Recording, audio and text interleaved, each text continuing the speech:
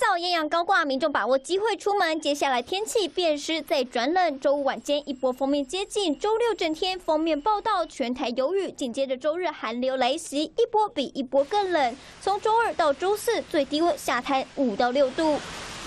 气象署更预估，下周二苗栗县体感温度一到四度，周三则是苗栗一到六度，新竹一到五度，是今年入冬以来最冷的一波。我们在桃园跟呃新竹苗栗比较近山区的部分，云量上是比较少的啊，还有一些还是有一些辐射冷却的作用。另外，降雪则是由北到南，气象署预估下周一晚上到下周二，北部以南一千到一千五百公尺高山有机会降雪。接着下周二，中南部、华东两千五百到三千公尺高山也有机会降雪。气象达人彭启明也提醒，强烈冷空气南下，预计达到寒流等级，周二晚间到周三清晨要特别注意气温。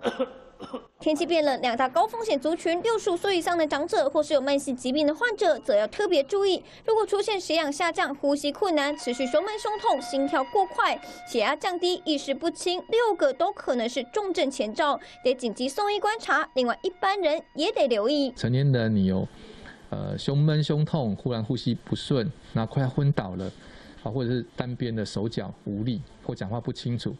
啊，或剧烈的头痛，那也要到急诊室去。即使并非高风险族群，气温变化大还是可能引起病症。医师提醒，就医检查不可少，也得注意并发严重肺炎的可能，让后续治疗更顺利。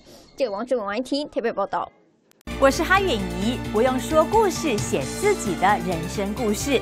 有争议的拿证据说，被掩盖的挖出来说，非主流观点我有勇气说。